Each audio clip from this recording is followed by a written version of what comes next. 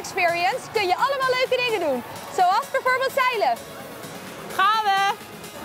Oh, doe het roer maar weer recht. En deze windstimulatoren, die zorgen voor de wind. Maar je kan hier ook kano varen. Je kan suppen.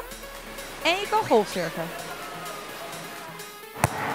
Naast watersport kun je hier nog andere leuke activiteiten doen.